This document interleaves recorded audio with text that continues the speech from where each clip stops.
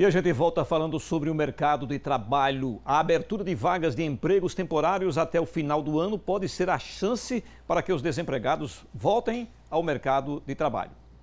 E como aproveitar essa oportunidade? Você sabe?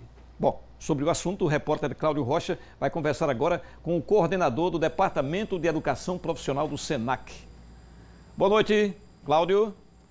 Olá, Gilvan. Boa noite para você, boa noite a todos. Olha, Gilvan, a principal dica é investir sempre na qualificação profissional. Aqui comigo o Edson Alves. Edson, boa noite. Atualizar o currículo é essencial. É essencial. Acho que diante do cenário que nós estamos vivendo, um currículo atualizado ele faz um diferencial na hora da contratação. Uhum. E como atualizar esse currículo? O que deve contar nesse currículo? O currículo ele precisa ser objetivo, mostrar a aptidão do candidato à vaga que ele está procurando e ele precisa ter uma boa qualificação, ele precisa estar qualificado para que possa participar de uma seleção, de, até mesmo né, de uma contratação. Agora, quais cursos devem ser observados nesse sentido?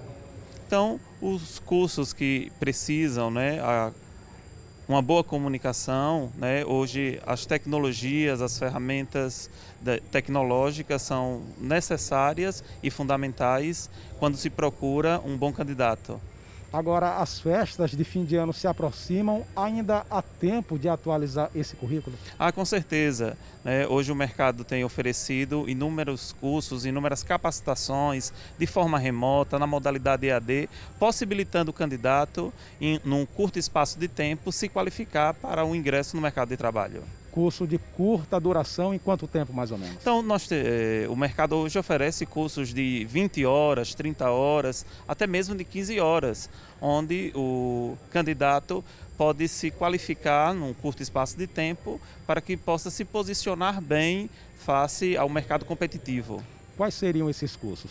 É, qualidade no atendimento, né, diante do cenário já pensando o final de ano, as festas de Natal e Ano, né, qualidade no atendimento, é, a boa comunicação, cursos na, no segmento de tecnologias, a informação também, todos esses podem enriquecer um bom currículo. Edson, muito obrigado pelas informações, uma boa noite. Gilvan. Obrigado, Cláudio, boa noite.